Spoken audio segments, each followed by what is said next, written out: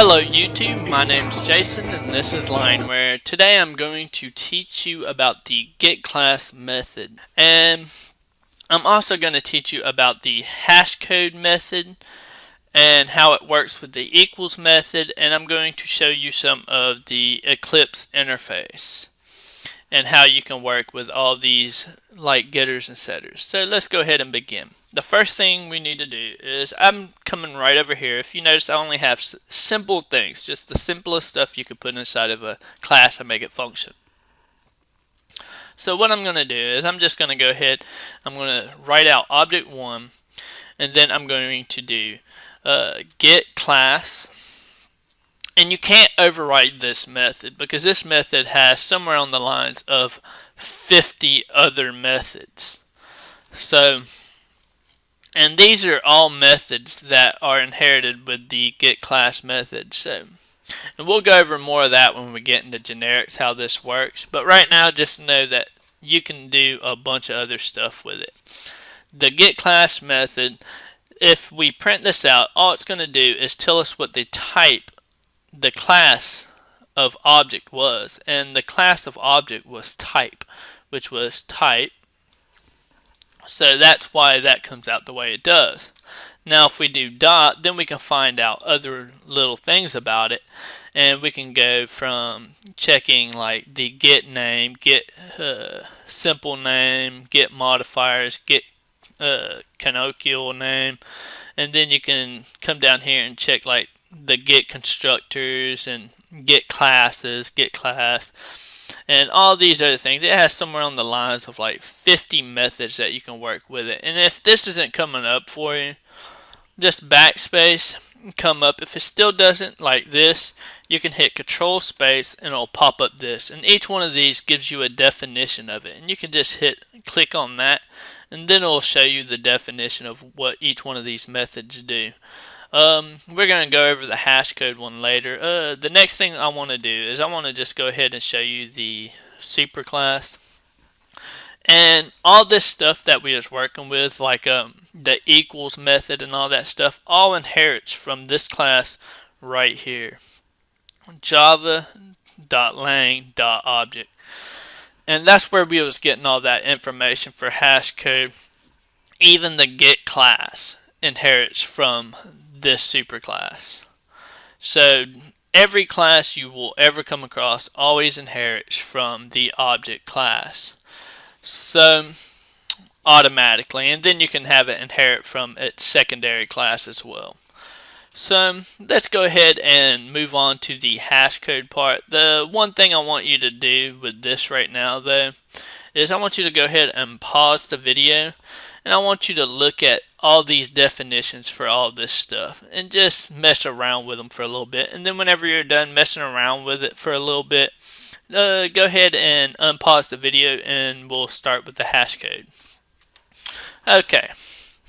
Now I want to start with hash code. Hash code is a pretty neat little thing and what it does is it gives a numeric value, well, oh, an integer value to your item. Say I want to check the integer value of object 1. This is what it comes out to be. It's a real big number and generally you want to, anytime you want to use the equals method, you want to override the hash code as well.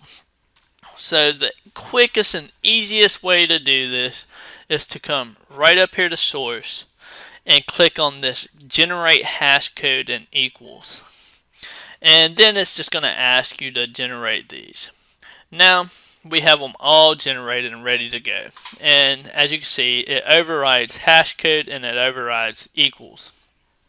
And this is the equals method. And this is the absolute best way to do this because if you don't do it this way say I created this as a totally new uh, type and say I wanted to throw a I wanted to give some values. I want to go ahead and delete that just so I can show you. Say I wanted to create a constructor. You can come right up here to this source and create a constructor for your fields and click OK. So now it has created the type constructor for me and it's given all these values. So now each one of these have to throw in values.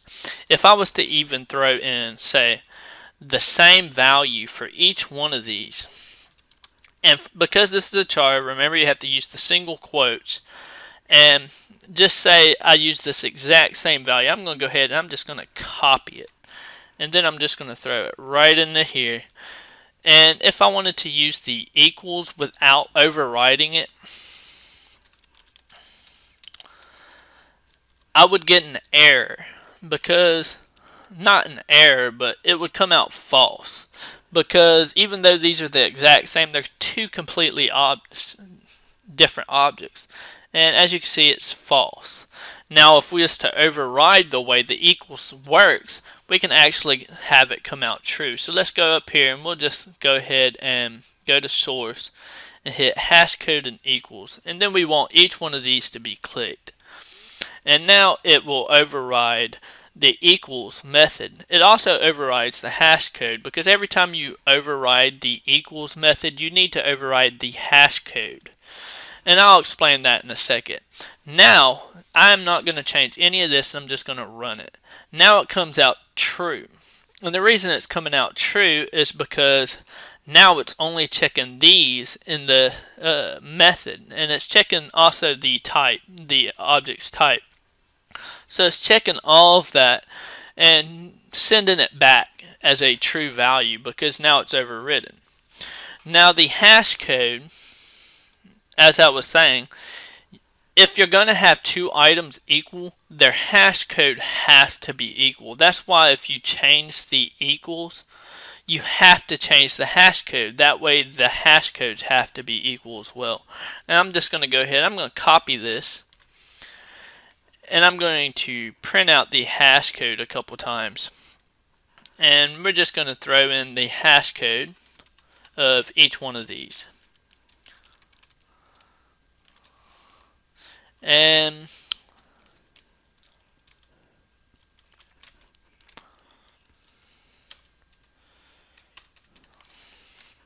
Okay, now we're going to check the hash code for 1 and 2. And when we print it, now the hash codes are the exact same. And that's because we had to change this hash code right here when we changed this equal sign. That way they printed out the same result. Now if I was to take this off, I'm going to go ahead and delete that one more time and I printed it. The reason it's coming up different is because even though those are the same, they have completely different hash codes. And that's why it's coming out false because the way the hash code works is it the equal sign works as is, it checks the type. And these types have different hash codes. So that's why these are uh, coming out unequal. For these to come out equal, you have to go do something like this. And you have to just say type object 2 equals object 1. Now if I print it out, even though they have the exact same value as they originally did, now they come out equal and the hash codes come out the exact same. And let's go ahead and hit Control Z and put these back up. And as you can see, now these hash codes are a lot smaller than the original ones and it's because the way these are wrote out. And it sets it says prime times result. So it's this prime number of 31 times this result. And then it just adds these values to it. And that's how that works. And then it sends it back to the hash code, which we print out on the screen. And all it's doing is checking these. And with this one, it's just checking if this object is equal to this object, meaning if this class is equal to this object that's sent over, then return true. If this object is equal to null, then return false. Just in case someone sends null over, like null, and sends that over, then you get a false. But that's not what we're after. What I have in here, object 2.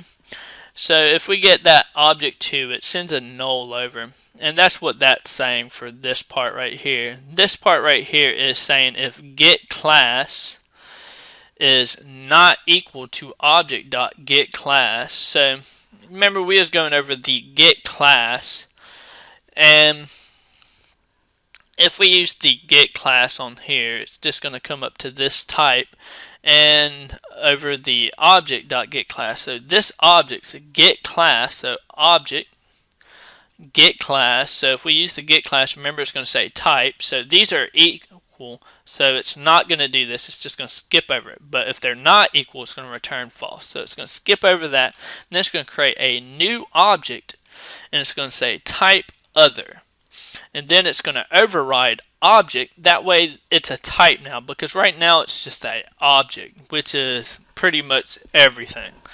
And then it's going to come into here. And the reason it overrides it right here instead of up here because we want this to be an object because the object is the lowest it can go on uh, the type. So uh, integer is an object a uh, this class is an object. Just remember, all this stuff is objects. And that's why it sets the object. That way we can send whatever we want over to this equals.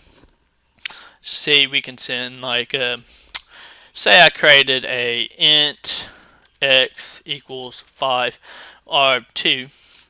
I could send x over because it's not being specific. It just wants an object, period. And int is a object, so that's why that works out the way it does. So let's go ahead and delete that. We don't need it. And it has to go through all this stuff, and it wants to keep that object the way it is. That way it can compare two different things, many different types against each other and see if they're equal. And then it changes it to right here to make it a type object. And then it checks if babe, this babe, is not equal to the other babe, which is other babe, which is this. And it checks to see if they are not equal then it's false. But if it is equal, it's true. And just continue on. And it just goes through each one of these. Then it checks bingo and Doug.